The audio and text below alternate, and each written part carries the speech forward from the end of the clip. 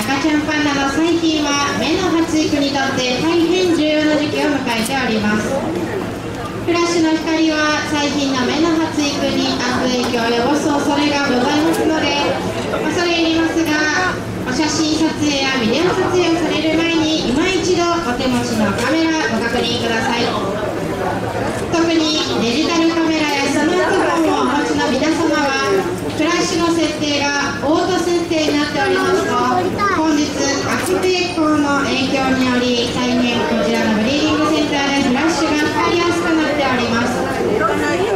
設定方法がご不明でしたら後方に立っておりますスタッフがお手伝いいたします。お声かけください。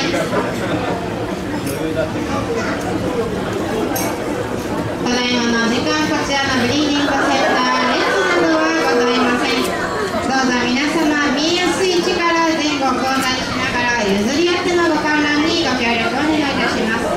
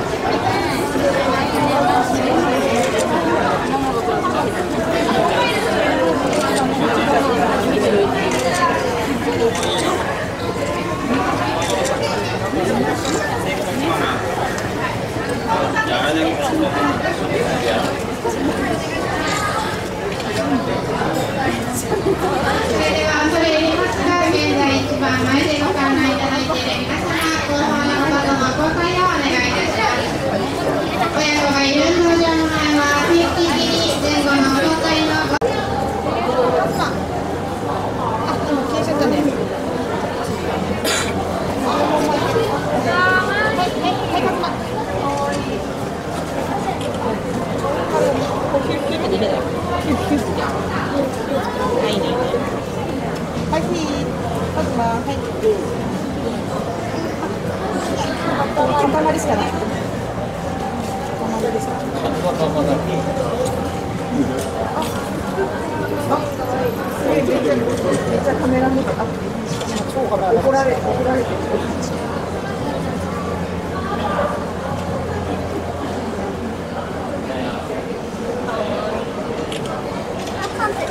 いのじゃあ甘噛みやめてってやった。やめんじゃいよ。かわいい。立ち上がれないじゃんお母さん。あれお母さんなの？あれおあれお父さんお母さん？はい持って乗ると思う誰誰？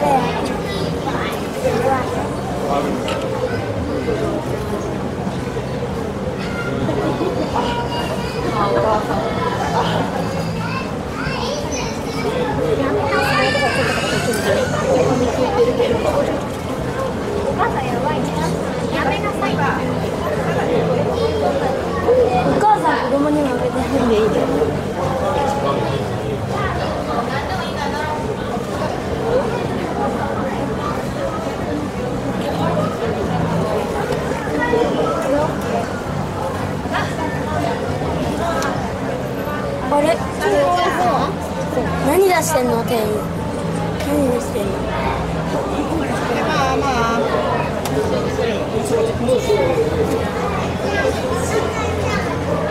はいね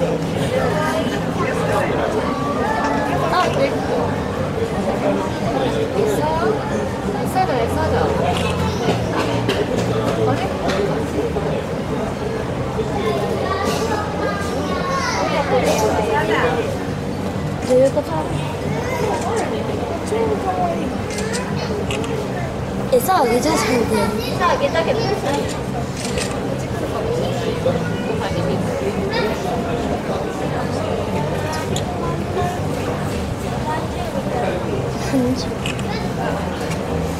あ食べるのかな。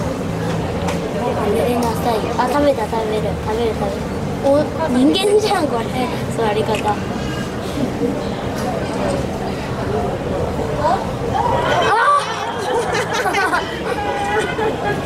落とされた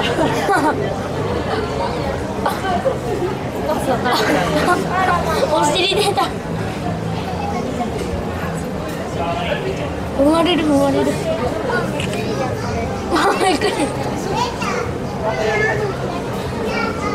これ何？お母さんが食べようとしてんの？赤ちゃんはんにこうし。て構ってほしいけど怒られて怒られてるからもうやめろってやめなさい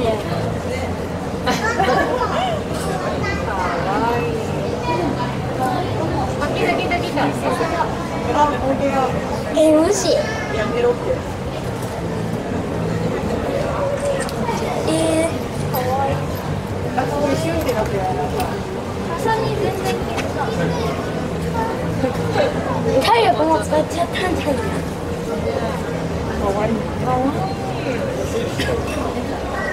いいいい見てる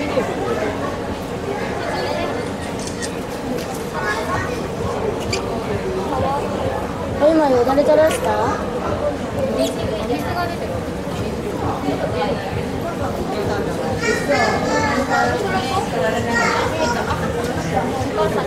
笹食べる？あ匂い嗅いでる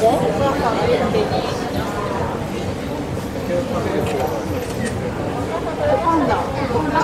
あ痛い痛い痛い痛い痛い痛い痛い痛いパンダ単独でやっぱこの体勢なんだね映画映してお母さんに邪魔されてるね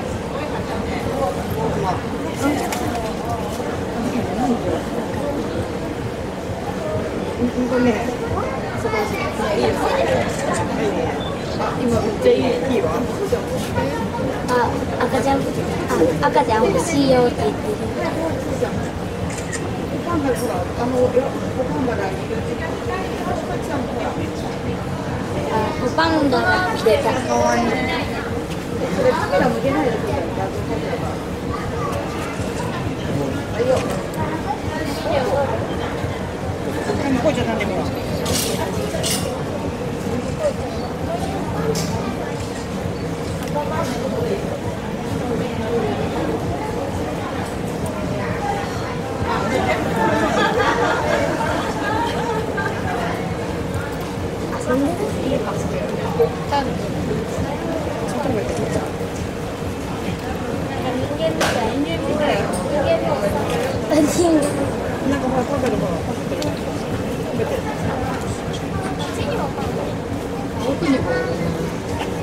奥で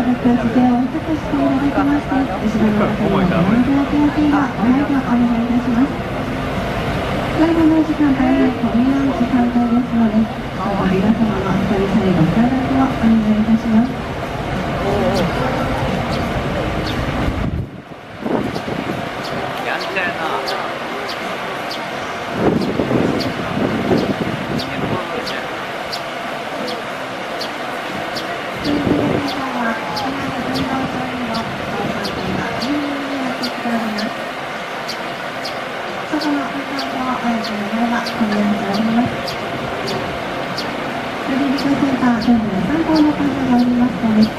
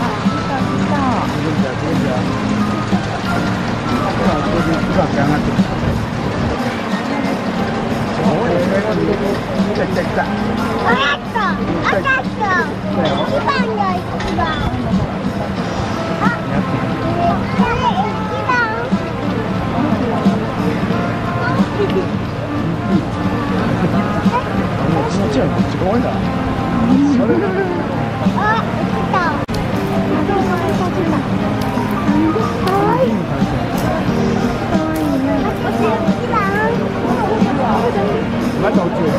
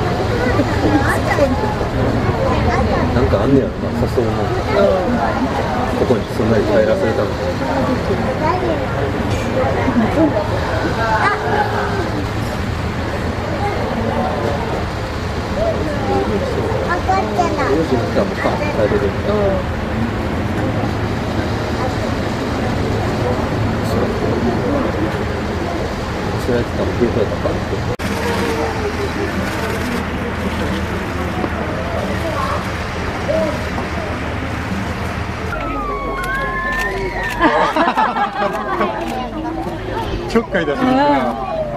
すな、逃げても逃げ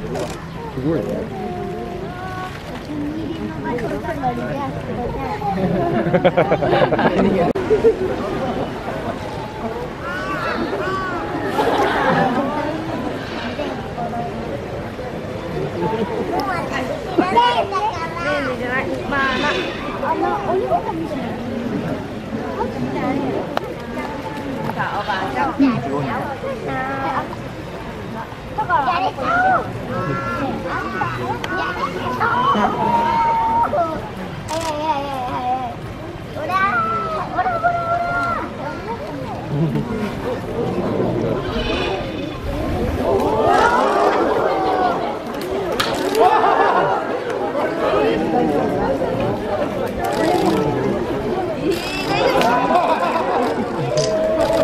ごい。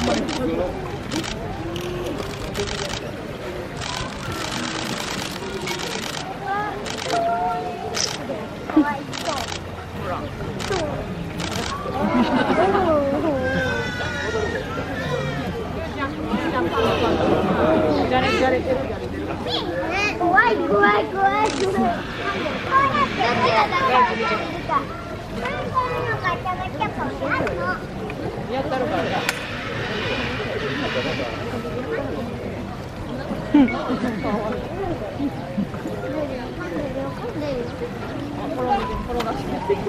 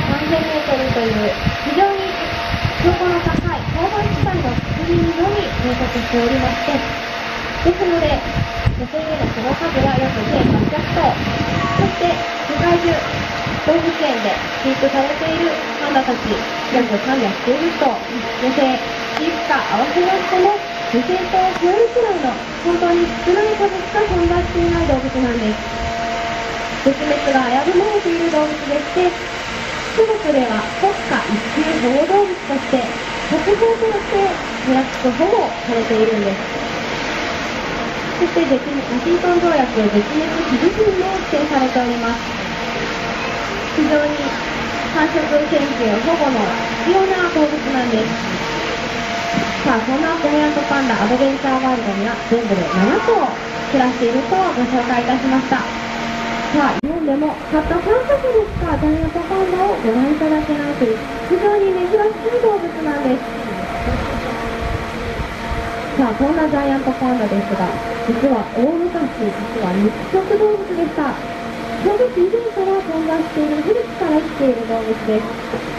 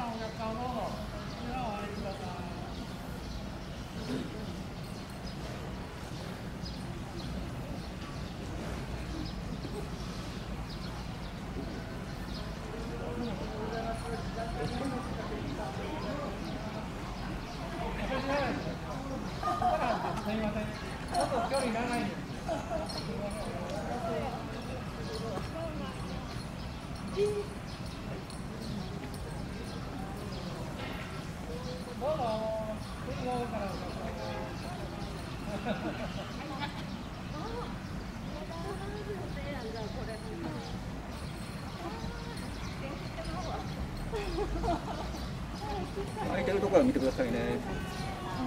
相手とかね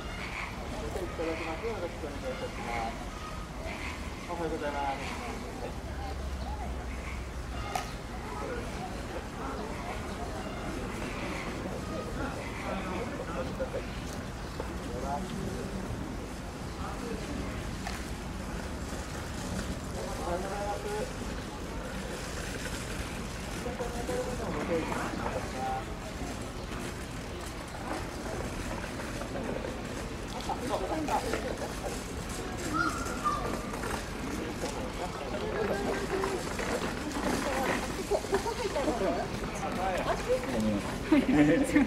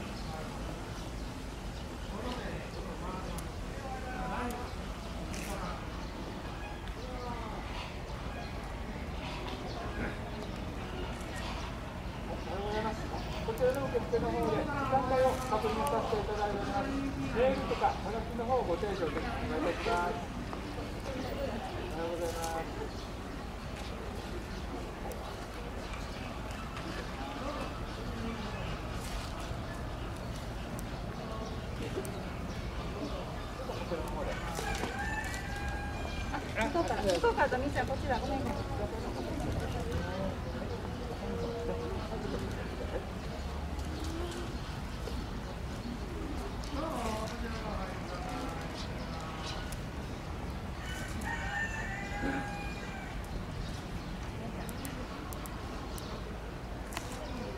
ようございます。こちらの方で時間帯の方を確認させていただいております。メール、えー、はがきをご提示いただきますようよろしくお願いいたします。すぐこちらの方で。あ次のお客様はこちらの方でございます。はい、じゃあ。すぐこちらの方で。会社に入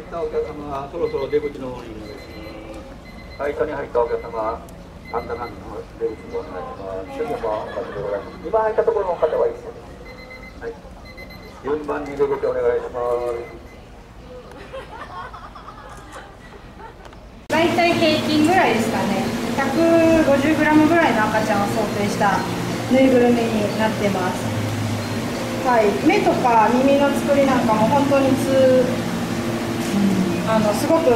緻密に作られてるんですけど爪がねなかなか生えてないのでそこだけちょっと惜しいなって私は思ってるんですけど、まあ、それ以外をのぞそれを除けば本当に緻密に再現されたぬいぐるみで結構重さもしっかりあります。ちょっと持っていただけないのだけ残念なんですけど。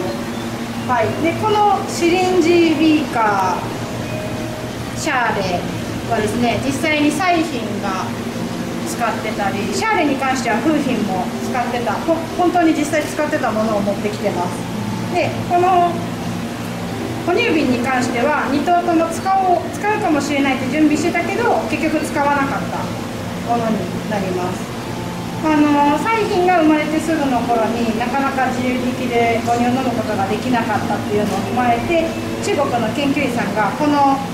ビーカーの方ですねを、えーと、これがラウヒンだとして、まあ、こう赤ちゃんを抱いてこう丸まってるんですけどここが柵なんですね。でそこの柵の中からこう手を入れてビーカーを持った手を入れて赤ちゃん大体こっちにいることが多いんですけど赤ちゃんが左側にいれば右側の乳首。で右側に赤ちゃんがいれば左側の乳首のここから搾乳してでこの小さいシリンジに入れて最初最近はミルクを飲んでおりました、まあ、クーヒンはこれ使うことなくてあの私たちもサイフィンが小さかったのでその次生まれてくる風品ももしかしたら小さいかもしれないってことで一応搾乳のシミュレーションだけはまあ、あの実際ラウヒンでやることはできないのであのぬいぐるみにはなるんですけどあの普段暑い日に外に代わりに出てくれてるぬいぐるみを使って何度も何度もシミュレーションしまして一応風品の誕生を迎えたんですけど本当に健康有料児で大きかったので最初から自力でミルクも飲んでくれましたし一切シリンジとビーカーは使うことなくはい事なきを得たっていうような感じですかね。シャーレは、えーと、赤ちゃんの刺激をした後にあの排泄を受けるのに使ってますあの、もちろんナウヒンが刺激をしてくれるんで私たちがしなくても排便っていうのはしっかりできるんですけどやっぱある程度こううんちの状態結構細かく色とかあと固形物の量とかが違ったりするんです。ラウヒンのミルクしか飲んでないんですけどその辺りがこう結構変わってくるのでそういう状態を把握するためにもシャーレにとってあんな感じですね。あれ実際の風品の映像なんですけどあんな感じでこれちょうど中尾さんがやってらっしゃるんですけどあの刺激をして慣れてっていうのがあるんですけど何も取って、まあ、必要あれば冷凍保存したり基本的にはパイプになるんですけどあんな感じで刺激してっていうような時に使ったものです。はい。続きましてこれ何か皆さん分かりますか？そうですそうです。体温計です。あの YouTube でも多分使ってる映像いくつか上がってると思うんです。があれですね。脇の下に挟んでこのここに挟んで体温を測ったりあと時によってはこの尻尾のところに尻尾と肛門のところにこう挟んだりすることもあるんですけど生まれた初期の頃はこれぐらい毛が生えてないとお腹の下タオル赤ちゃんがいるこのタオルとお腹の間にこの先っぽが温度計になってるんですけどそこを置いて体温を測ってっていうのをしますでさっきの映像ぐらい白と黒の毛が生えてくるともう脇に挟んで体温を測ります。で今までは毎朝このこれぐらい小さいと結構適度に毎回こうお母さんのラーメンから預かるたびにとりあえず1回体温を測って体温下がってないかどうか確認したりするんですけれどもそのうち成長するにつれてそれが1日1回朝だけになったり朝は違う、えー、お母さんから預かった時にすぐ測るのとお母さんに戻す前に測ってどれぐらい差があるか見てある程度成長してくるとそれがどんどん回数が減ってきてその後朝と夜だけになりましてで朝だけになって今の風品はもう暴れて測ることができないので朝も測ってないです。ただ外で日光浴したりするとやっぱりこう口開けてハラハラしたりとかすることありますしパッと肉球の部分が結構熱が分かりやすいのでそこを触って熱くないかとか脇の下に手入れてみて熱くないかなっていうのをこう私たちのもう本当肌感覚になるんですけどで判断してます、はい、これも実際に使ってた使ってるまだ現役なんですけど使ってるものです。はい。でこれがですねパンダミルクって言います。ちょっと中開けるともう粉々なんで開けてないですけれども森永さんが共同開発して、まあ、私たちだけじゃないですけどいろんなパンダの母乳を提供して成分に近いものを作ってくれてまして。風品も今ちょっとずつ飲む練習だけ始めてます。あの大体アドベンチャーワールドだと双子の場合は結構早くからお母さんの母乳もなかなか双子だと足りないので補助的にあげたりするんですけど一人っ子の場合は大体お母さんから独り立ちして、えー、1頭での生活始まった時になかなか竹だけでは営業を補えないんで最初こういうものを補助的にあげたりするんですけれども、え、4歳の結浜がですね結構変色でこのミルク飲むまでに1ヶ月半ぐらいかかった歴史があるのでまだ全然風品も独り立ちの日って決まってないんですけれども彩品もそうなんですけどこう決まる前から余裕を持ってちょっとずつ味に今慣らしてます。全然必要ない時期から余裕を持って慣らさないといざ必要になった時結品みたいにいざ飲まなきゃいけない時に全然飲んでくれないっていうのが一回あったのでちょっと早め早めに練習だけ、はい、してます、まあ、今のところ順調に彩品結品ほども手こずることなくちょっとやっぱり最初はミルクの味というよりもそういう器から飲むことを覚えてないのでそこの順地の方が必要だったりするんですけれどもまあ最初は今もやっぱりちょっとスプーンでこうちょっと飲ませてからそれをどんどんこう器の方に下げてって気がつけば自分で飲んでるみたいなぐらいのあの流れでやってはいるんですけれども最近やっとスムーズに飲めるように、うん、なってきたかなぐらいです。哺乳瓶はね、もう今ぐらいの大きさで哺乳瓶使うと噛みちぎっちゃうので、基本的にもっともっと小さい歯が入る場合とか、えー、あまりこう歯が入ってなくて、だから双子の時ですね、にこう入れ替え保育って言って、1頭お母さんが歩か抱いてる間に、もう1頭にそういう人工乳を補助的にあげたりするんですけど、そういう時に哺乳瓶は使えます。まあ、ただ今のところにこうえー、お母さんのミルクだけで食べてますし今哺乳瓶を使うとその乳首の部分がゴムなので誤飲しちゃう可能性があるのでもうお皿で今はあげてますこれはですねひな祭りの時にあげた遊具の一番上の部分なんですけどももうこれが生き残ってる唯一の木でしてあとはもう噛み砕いてボロボロになっちゃいまして。はい。あのもう一個一緒にあげたロープのやつでも結構噛んじゃってこのコンシェルジュ終わるぐらいにはもう卒業かなぐらいの、はい、感じです。歯型も結構見えますか映るかな皆さんのあれに。はい、こんな感じで歯型がね結構、まあ、あの歯型ね人間の歯型ねみたいな結構噛んで移動したり遊んだりすることが多かったですね。はい。これ実際に楓浜が生まれた時の大きさと重さ再現してるのでよかったら見る前に一回触ってみておいてください消毒シールでも回していただいて大丈夫です意外とね手にずっしりくると言いますか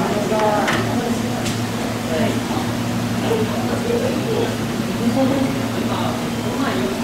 も実際に風品か風品も彩品も結品も使ってたおかりですはいお母さんから預かってこんな風にタオルにくるんでここに入れて体温測るまあ今ちょっとタオルの重さだけ引くの忘れてるんであれなんですけどまあこんな感じですよね。タオルに入れて。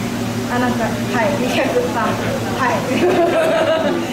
今これ風になりこれ全く同じこの容器です。はい。あれぐらいの大きさの時に使って。ます1ヶ月2ヶ月ぐらいかなはい。今はもうこの次の次の次ぐらいかな。一番最終の衣装ケースみたいなでかいのに入れて測って。ますはい。さあでは私の